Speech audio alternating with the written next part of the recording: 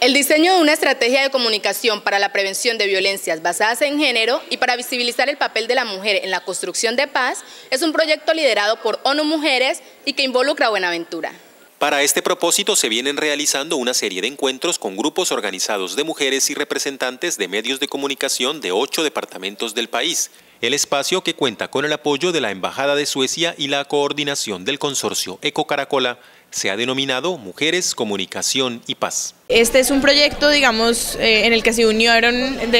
los componentes de violencias basadas en género y de seguridad, seguridad y paz de ONU Mujeres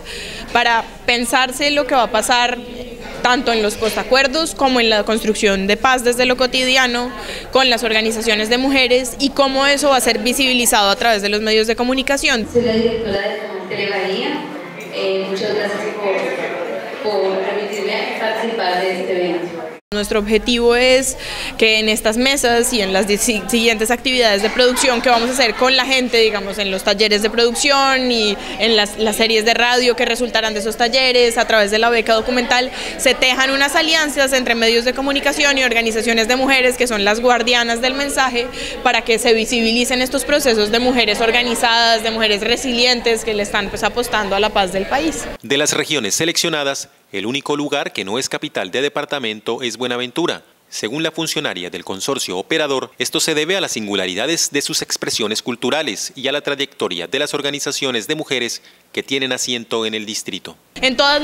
las, regiones han sido las, las, capitales de los departamentos, pero cuando nosotros nos pensamos el valle, nos dimos cuenta, digamos, de que Buenaventura era una gran parte del valle, Buenaventura tenía toda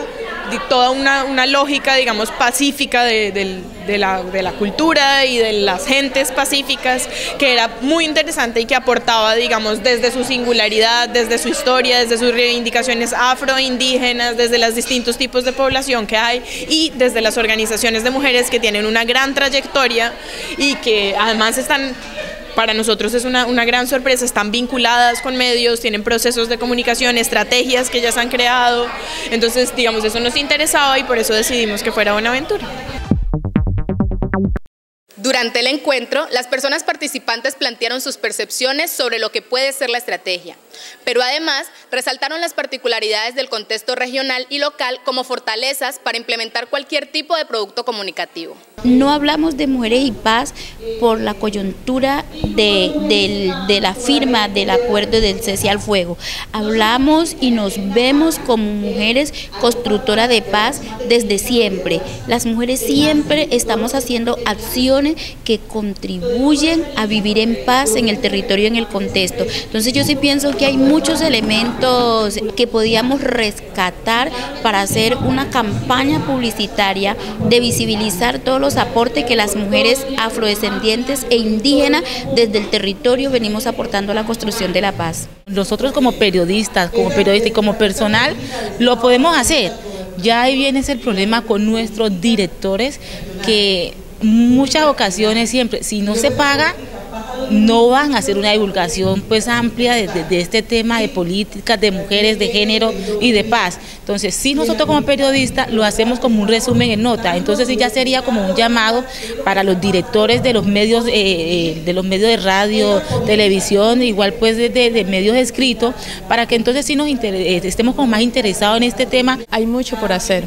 y precisamente alabamos que en este momento estemos sentadas mujeres y medios de comunicación en este espacio,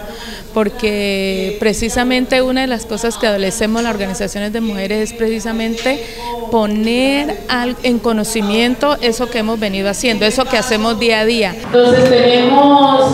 eh, el tema de la medicina tradicional, que es donde vemos que la mujer tiene como, eh, ejerce como partera, como curandera, como sobadora. Entonces es necesario que eso se encuentre, lo que hacemos día a día como mujeres en nuestros diferentes procesos organizativos y aún la mujer común y corriente, es necesario que eso se ponga en voz de eh, en clave de comunicación. Bueno, inicialmente para nosotros es muy importante eh, poder participar en este espacio,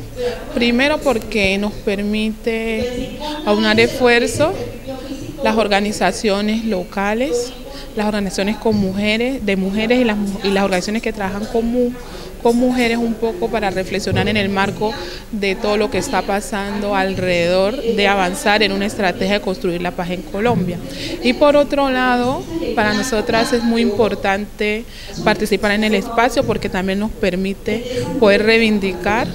¿sí? Que las mujeres y sobre todo las mujeres negras siempre hemos sido constructoras de paz de acuerdo a nuestra cosmovisión. Fruto de lo que se recoja en estas mesas de trabajo, el proyecto pasará a una segunda etapa en la cual se producirán series de radio, un corto documental, espacios de expresión artística y materiales publicitarios, en los que estarán representados los ocho departamentos.